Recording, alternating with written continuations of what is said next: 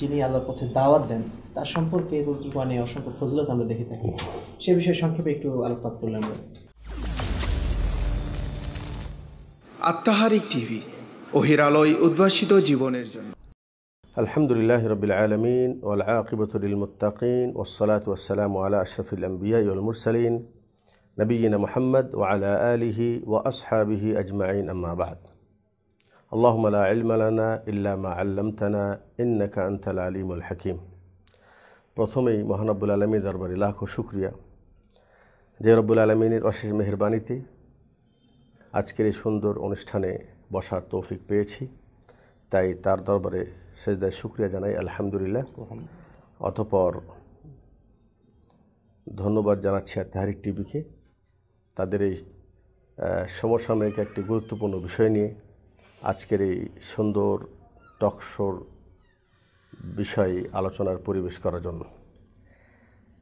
তো, দাওয়া ইলাল্লাহর ফজিলত আল্লাহ রব্বুল আলমিন নিজেই তিনি ইরশাদ করেছেন সুরে ফুসেলাতে তেত্রিশ নম্বর আয়াতে। আল্লাহ তালা ইরশাদ করেন, ওমান আহসানু কৌলাম মিম্মান দা ইরাল্লাহ ওয়া আমিলা সালেহা।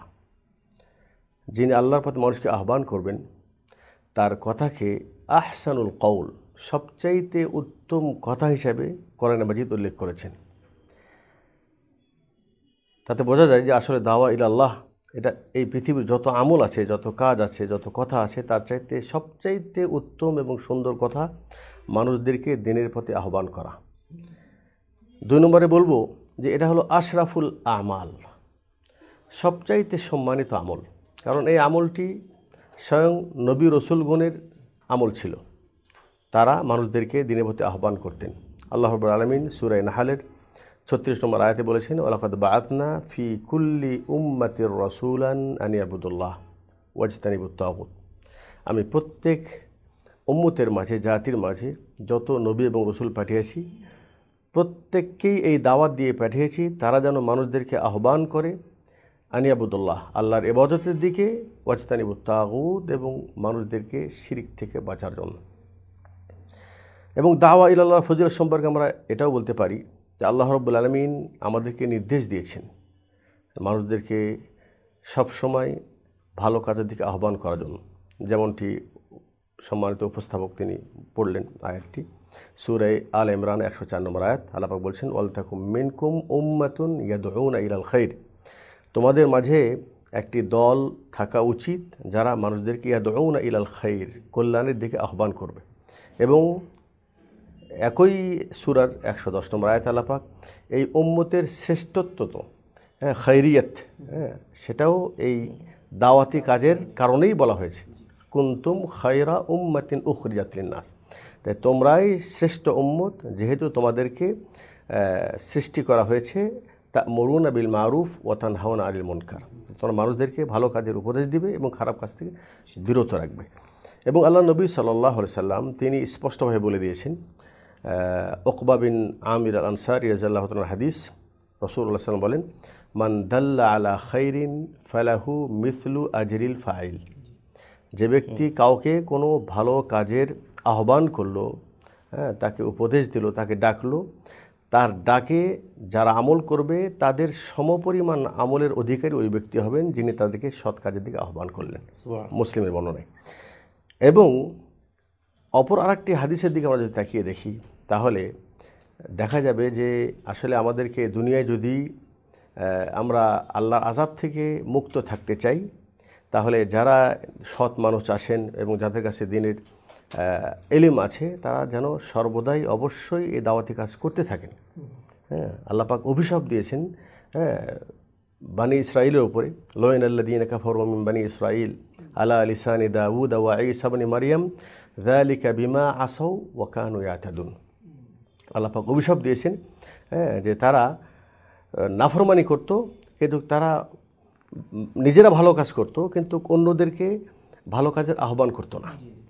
হ্যাঁ আল্লাহ নবী সাল্লাহ সাল্লাম, তিনি আর একটি বখারি মুসলিম হাদিসে বলছেন যে মাসারুল কাইম ফি হদুদুল্লাহ ওয়াল ওয়াকে ও ফিহা। হ্যাঁ যারা সৎ পথের উপরে আছেন বা যারা সৎ মানুষ, তাদের উদাহরণ, আর যারা খারাপ মানুষ, তাদের উদাহরণটা হলো, কামাসালি সাফিনা। হ্যাঁ একটি নৌকার নেই যে কিছু মানুষ নিচে আসেন, কিছু মানুষ উপর তলায় আসেন। তো নিচের মানুষেরা উপরে পানি পান করার জন্য যায়। তো তারা নিচের মানুষরা তখন মনে করে যে, আমরা উপরে যেয়ে তাদেরকে ডিস্টার্ব দেবো কেন? কষ্ট দেবো কেন? আমরা নিচে ছিদ্র করে, পানি আমাদের অতি নিকটে। এখানে আমরা পানি সংগ্রহ করব। তো আল্লাহ রসুল সাল্লাম কত সুন্দরভাবে বুঝিয়ে দিয়েছেন যে, উপরওয়ালা মানুষ যদি তারা জানতে পারে যে নিচেরা এরকম চিন্তাভাবনা করছে, আর তাদের এই চিন্তাটা ক্ষতিকর চিন্তা, যে যদি ছিদ্র করা হয় তাহলে নৌকা ডুবে যাবে। তো তাদেরকে যদি এই কাজ থেকে নিষেধ না করে তাহলে যখন নৌকা ডুববে শুধু নিচের অংশ ডুববে না সবাই ডুবে যাবে।